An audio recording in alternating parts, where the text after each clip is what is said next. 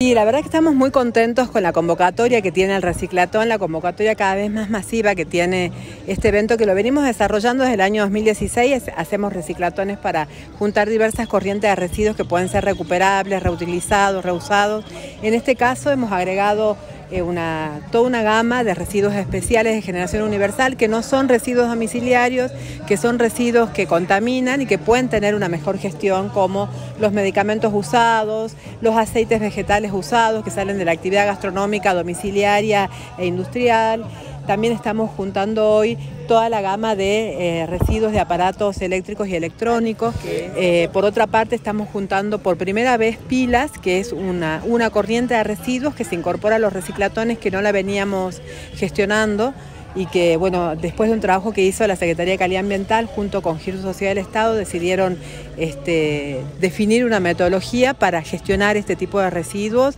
que es un residuo complejo porque es un residuo que tiene minerales, eh, metales pesados que son contaminantes. Sí, yo creo eh, que hay cada vez una conciencia más creciente, ¿no? Creo que se ha hecho mucho trabajo de educación ambiental, no, no solo el Ministerio, también el Ministerio de Educación.